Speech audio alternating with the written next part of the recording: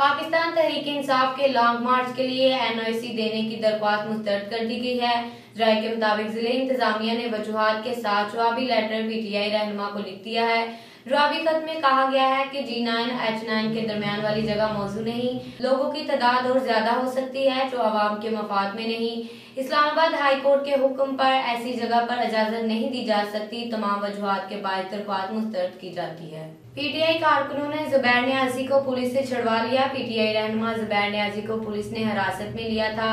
जुबैर न्याजी के घर पर पुलिस की जानब से छापा मारा गया था और डीआईजी का दावा था कि इनके घरों से भारी मकदार में असला बरामद हुआ है। जुबैर न्याजी को इस वक्त गिरफ़्तार किया गया जब वो यासमी राशिद के साथ और दिगर कारकुनान के साथ बत्ती चौक की तरफ़ रवाना हो रहे थे। मजीद अपडेट्स के लिए देखते रहें के एन न्यूज़ लाइव।